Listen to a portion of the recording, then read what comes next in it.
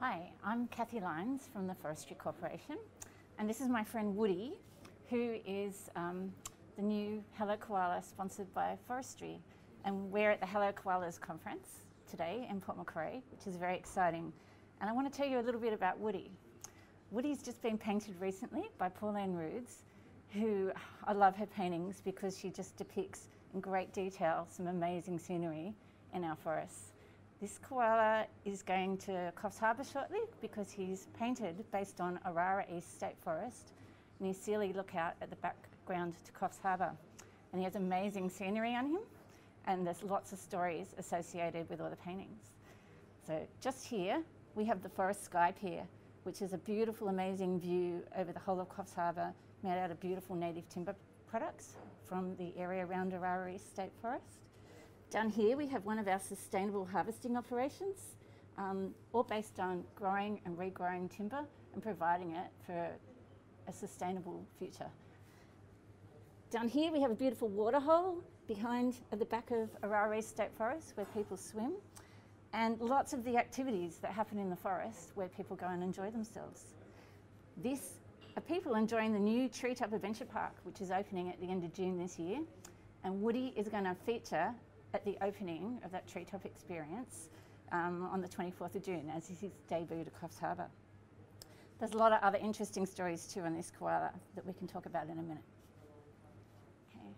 This is the Gungali track, which is a new experience that we opened um, in Orara State Forest just over the last year. And it's a beautiful interpretation of Aboriginal stories um, and the goanna, which is called Gungali, um, up near um, the Forest Sky Pier where people can go and visit. And these are people on the platform enjoying the view. Down here, we have this wonderful Aboriginal cultural group who do some amazing dances and tours in the area. And they also have an incredibly good coffee van serving traditional food, great kangaroo burgers and things like that, up in the Coffs Harbour area as well. And down here, this is actually my daughter show jumping her horse, and she often rides, often rides in the bush. And lots of our local staff feature on um, this koala as well. Okay, this is the World Rally. The World Rally is run in about October, November each year. A huge international draw card for the Coffs Harbour area, where often the finals for the rally are held and featured, and very exciting event to attend if you haven't been before. Down here is our senior um, Aboriginal Partnerships um, officer on the Co Coffs Harbour area with some of his grandchildren in the forest, walking around the forest. And his name is Richard. And Richard helps protect um, all the important cultural heritage and Aboriginal sites around that north coast area in state forests. Now this is Margaret Ma walking around the forest and Pauline couldn't help herself but she had to paint Margaret on a koala. Um, and I know Margaret enjoys spending her time in the forest and looking for koalas. Um, we also have, this was our first cultural burn conducted uh, late last year and we've just done more recently this year, working with um, the traditional owners and bringing fire back to the bush in the traditional fire stick manner to restore forest health.